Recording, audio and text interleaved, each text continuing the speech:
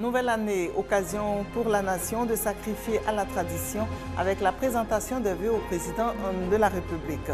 Un marché propre, c'est rare. Eh bien, celui de la commune de Trècheville sort du lot puisque son marché respecte les normes d'hygiène. Au Bangladesh, rien ne va plus. De violents affrontements juste après la tenue des législatives. Mesdames et messieurs, bonsoir. Le 31 décembre, le président de la République s'adressait à la nation. Aujourd'hui, 6 janvier, au tour de la nation de lui présenter ses vœux. Des vœux formulés pour une année 2014 apaisée et riche en événements surtout positifs. Une journée marathon consacrée donc aux salutations des membres du gouvernement, des corps constitués, des présidents d'institutions. Au cours de cette présentation des vœux, le président de la République a évoqué de nouvelles libérations de détenus pro-Gbagbo. L'adoption d'un plan de restructuration de la carte diplomatique a été annoncée. Le président Alassane Ouattara a aussi demandé aux chasseurs d'oiseaux de cesser leurs activités paramilitaires. Et puis, autre point abordé, l'entrée des femmes à la gendarmerie. Suivons cet extrait du président de la République. Dans les réformes engagées au sein de nos forces, nous notons avec satisfaction la prise en compte de la notion du genre, qui est désormais une réalité. Ainsi, après l'École nationale de police, l'EFA, l'ENSOA, aujourd'hui nous notons l'arrivée de jeunes filles à l'EMPT de Benjerville depuis cette rentrée scolaire. Je m'en félicite. Très bientôt, l'École nationale de gendarmerie, la gendarmerie, fera la même expérience. Nous encourageons les parents à orienter leurs filles dans tous les corps de métier de l'armée, à l'instar du médecin général Kwame Akissi, que nous avons nommé au grade de général de brigade, faisant d'elle la première femme générale de l'histoire de notre pays. Madame Kwame, toutes nos félicitations des femmes, des femmes gendarmes. Qu'en pensent les Ivoiriens? La réponse dans ce micro-trottoir. Je pense que le président a vu juste parce que cette décision va permettre aux femmes de se sentir vraiment émancipées. Je pense que la formation euh, des hommes sera différente de celle des femmes. Puisqu'on parle beaucoup d'émancipation de la femme, elles sont souvent au poste de président de la République et elles réussissent souvent leur mission. Je pense que on a besoin aussi de la femme à la gendarmerie, comme à la police, comme dans l'armée. Je suis pour, puisque aussi c'est une exclusion de ne pas voir ces femmes euh, à, certains postes euh, de responsabilité. Donc moi je pense qu'une femme à la gendarmerie, c'est beaucoup salutaire. Il n'y a pas de corps dans la, dans la société dans laquelle le genre ne doit pas s'exprimer. Je pense que c'est bon d'avoir aussi des femmes dans l'armée parce que ça contribue à la promotion du genre féminin et puis parce que aussi ça, donne de l'espoir à ces personnes, à ces filles qui en elles-mêmes se sentent plus soldats. C'est les hommes qui, vont au combat, les femmes restent euh, voilà, derrière. Bon, si les femmes doivent aller aussi au combat et tout et tout, fait ce que tous les hommes font, euh, je pense qu'il y a problème. La formation est très difficile et je pense que ce n'est pas toutes les femmes qui, qui pourront la supporter. Si la femme doit vraiment rentrer à la gendarmerie, il faut que la formation soit aménagée. Pour nous, c'est un très grand pas. Et cette décision a encouragé et nous, femmes, nous voulons montrer aussi à l'opinion nationale et internationale que si la femme décide de faire quelque chose, elle va jusqu'au bout. Nous serons des gendarmes exemplaires. Des femmes gendarmes, pourquoi pas En Côte d'Ivoire, ça existe déjà dans d'autres pays. Des marchés reluisants de propriété, rares d'en trouver dans le district d'Abidjan. Le marché de la commune de Trècheville, lui, par contre, s'illustre par son hygiène. Un bel exemple que nous présente ici notre reporter.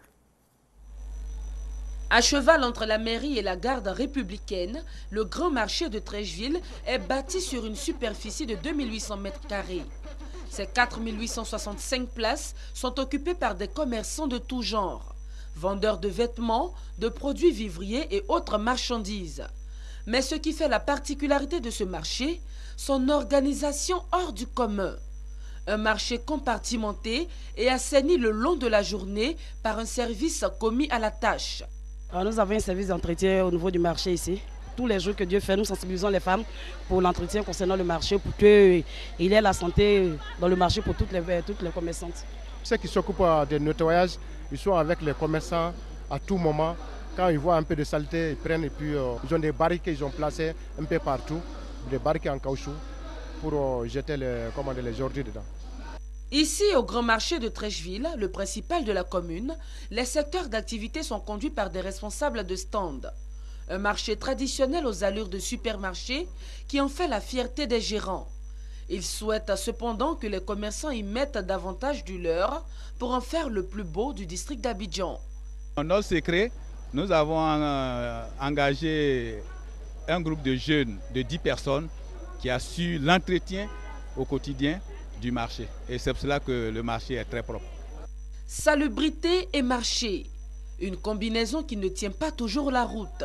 Mais au grand marché de Trècheville, c'est une réalité, un exemple donc à suivre pour tous les autres marchés du pays. Eh oui, un exemple à suivre. Après la visite au marché de Trècheville, rendons-nous dans la commune de Cocody, précisément dans le sous-quartier d'Angré fin Goudron. Pas facile pour les riverains d'entrer et sortir de leurs habitations. La raison, route non bitumée est très endommagée. En clair, les piétons sont plus chanceux. Angré fin Goudron, un quartier de la commune de Cocody. Un quartier difficile d'accès du fait de l'état de dégradation très avancé de la voirie les accès de ce quartier chic de la commune de Cocody n'ont jamais connu de butime. Une situation préoccupante pour les riverains. La route, en tout cas, franchement, nous fatigue. Quand il pleut, c'est très difficile de rentrer chez soi. Et les véhicules sont obligés même de garer. On est obligé même de soulever nos pantalons et culottes pour pouvoir rentrer chez nous à la maison. Le grand quartier et nouveau quartier comme le nôtre, il y a du monde, mais il n'y a pas de route. Chaque jour, nous faisons des efforts, mais quand il pleut, il est pratiquement impossible de sortir et d'entrer chez nous. Cette situation serait la conséquence de l'inexistence de canaux d'évacuation d'eau de ruissellement. Les gens viennent déverser des ordures sur la route parce que la, route n'est pas faite. Il n'y a même pas de caniveau ici. En tout cas, sincèrement, nous souffrons. Cette eau qui stagne du fait qu'il n'y a pas eu de canalisation crée des maladies liées au paludisme. Ça nous crée beaucoup de préjudices. Et puis, euh, au niveau de l'électrification, de la voie aussi, euh, la voie n'est pas éclairée. Ce qui fait que nous sommes exposés dans la zone au, grand banditisme. Nous crions vivement qu'il y ait réparation pour, pour cette voie. Le regard des habitants de ce quartier est tourné vers les autorités compétentes en vue d'améliorer leurs conditions de vie. Au Bangladesh, violents affrontements au lendemain des législatives. Au moins 20 morts, des urnes et des bureaux de vote ont été détruits. L'opposition conteste ces élections. Le Bangladesh sous le choc au lendemain de législatives endeuillées par une nouvelle flambée de violence. Boycotté par l'opposition, le résultat du scrutin est sans appel. La Ligue Awami au pouvoir et ses alliés, qui n'avaient aucun adversaire dans 153 circonscriptions sur 300, l'emportent haut la main. À lui seul, le parti de la Première ministre rafle 80% des sièges. J'ai lu dans les journaux qu'il y a eu des fraudes massives dans les bureaux de vote de la capitale et que beaucoup de gens ont été tués. Pour moi, ce ne sont pas des élections acceptables. J'ai vu sur beaucoup de chaînes de télévision que les gens ne sont pas allés voter. En plus, il y a eu des falsifications. Ce n'est pas compatible avec la démocratie. Ce serait mieux si ce Parlement était dissous et que de nouvelles élections avaient lieu. Mais le parti au pouvoir reste sourd, il promet d'éliminer tout militantisme et exclut le dialogue avec le BNP, le principal parti de l'opposition, qui a reconduit la grève générale jusqu'à mercredi pour dénoncer cette farce électorale.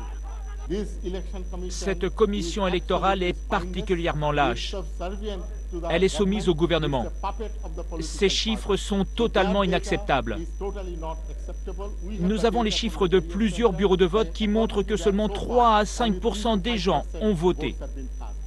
Hier, des milliers de manifestants avaient saccagé ou incendié des centaines de bureaux de vote. Au moins 26 personnes sont mortes, pour la plupart des militants de l'opposition abattus par les forces de l'ordre, faisant de ce scrutin le plus sanglant de l'histoire de cette jeune démocratie. Entre grèves, manifestations et blocages, l'année écoulée aura été la plus meurtrière depuis la création du Bangladesh en 1971. 500 morts, dont 150 depuis début octobre. Avant l'élection, la communauté internationale s'était déjà inquiétée du risque d'embrasement de ce pays peuplé à 90% de musulmans. Certains n'hésitent pas à brandir la menace d'un islam radical qui jusque-là est resté limité.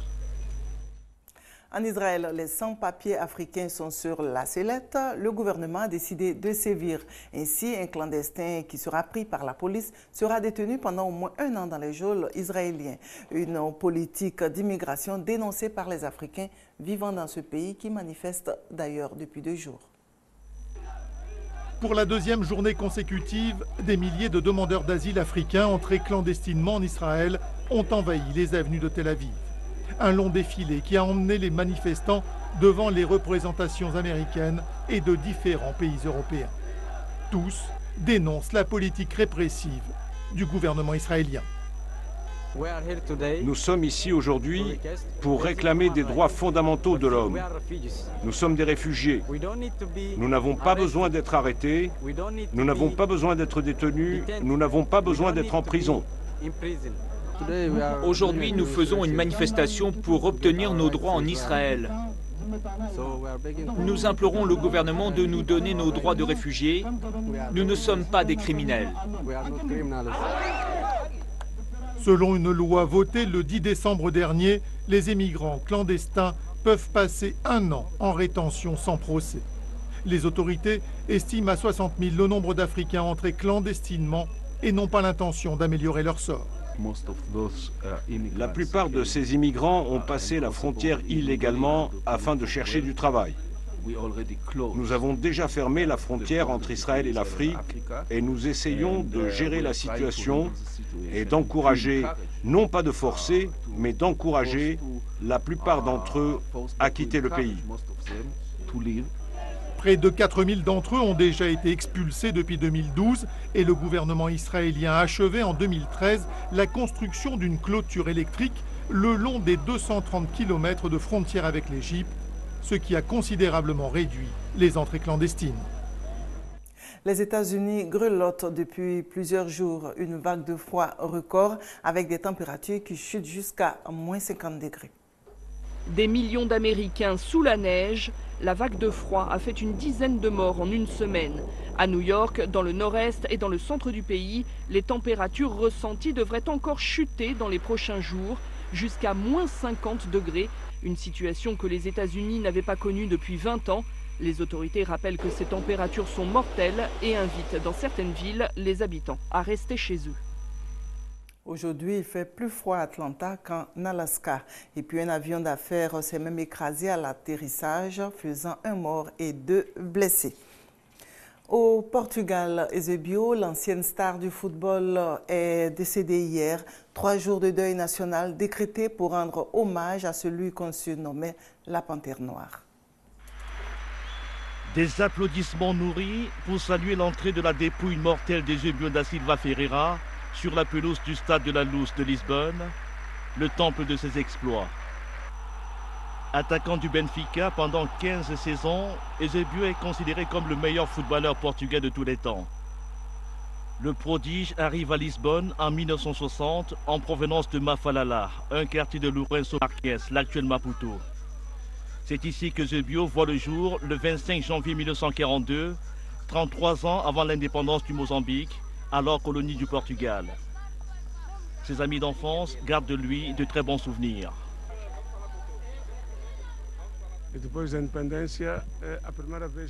Après l'indépendance, la première fois que Zebio a mis les pieds au Mozambique, c'était sur notre invitation.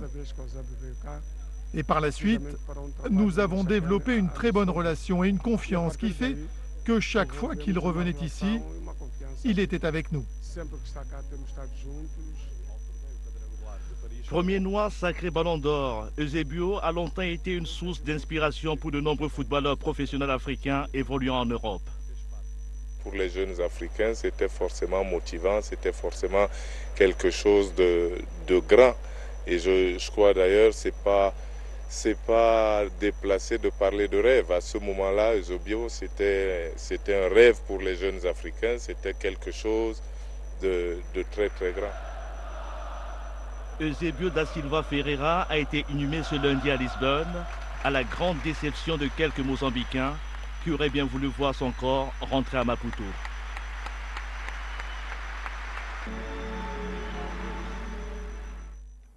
Je vous souhaite une bonne suite de programme sur RTI2. On se donne rendez-vous demain, même heure, c'est-à-dire à 19h30. À demain.